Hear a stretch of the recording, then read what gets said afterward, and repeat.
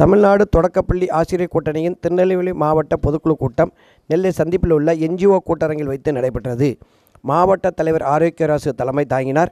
மாநில துணைத் தலைவர் லாசர் மாநில செயற்குழு உறுப்பினர் மருதுபாண்டியன் ஆகியோர் முன்னிலை வைத்தனர். மாவட்ட செயலாளர் செய்யது இப்ராஹிம் மூசா வரவேற்புரை ஆற்றினார். இந்த கூட்டத்தில் பல்வேறு தீர்மானங்கள் நிறைவேற்றப்பட்டன. இந்த கூட்டத்தில் நாங்குநேரி ஜான் பாரதிதாசன் ராதாபுரம் சண்முகசுந்தரம் வள்ளியூர் மாணிக்கராஜ் சங்கை அசோக் கிருபைராஜன் மேலை கருப்பசாமி கீழப்பாவூர் ராஜாசிங் ஞானத்துறை கார்த்திக் கடைநல்லூர் ரமேஷ் மேலைநல்லூர் வாசு ராமர் புளியங்குடி தங்கமாரியப்பன் சேரை ரமேஷ் ராஜன் குருவிகுளம் ராம்ராஜ் பாப்பாக்குடி முத்துராஜ் அலெக்ஸ் மாவட்ட துணை பொறுப்பாளர்கள் மருதுபாண்டியன் சாமியா இனிகோ ஆலங்குளம் இமானுவேல் பாலசுந்தரம் உட்பட பலரும் கலந்து கொண்டனர்.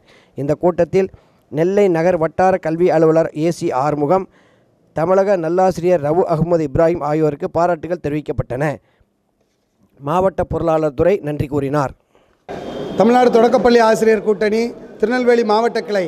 இன்றைய தினம் நடைபெற்ற மாவட்ட பொதுக்குழு கூட்டத்திலே மாணவர்கள் வரு வருகை குறைவை காரணம் காட்டி தமிழக அரசு ஊராட்சி ஒன்றிய பள்ளி மற்றும் அரசு பள்ளிகளை மூடும் திட்டத்தை உடனே கைவிடப்படப்பட வேண்டும் என்றும் அரசு மானியங்களுக்கு வழங்கப்படாத பள்ளிகளுக்கு ஊராட்சி ஒன்றிய பள்ளிகளுக்கு உடனே அரசு மானியங்கள் வழங்கப்பட வேண்டும் என்றும் அகவலைப்படி இரண்டு சதவீதம் மத்திய அரசு வழங்கியதைப் போல மாநில அரசும் ரெண்டாயிரத்தி பதினெட்டு ஜூலை முதல் ரொக்கமாக வழங்கப்பட வேண்டும் என்றும் இடைநிலை ஆசிரியருக்கான ஊதியத்தை மத்திய அரசுக்கு இணையான ஊதியம் வழங்கப்பட வேண்டும் என்றும் பழைய ஓய்வூதிய திட்டத்தை கொண்டு வந்து புதிய ஓய்வு திட்டம் சிபிஎஸ்ஐ ரத்து செய்து பழைய ஓய்வு திட்டத்தை கொண்டு வர வேண்டும் வேண்டும் என்று இந்த பொதுக்குழுவில் ஏகமானதாக தீர்மானம் நிறைவேற்றப்பட்டுள்ளது.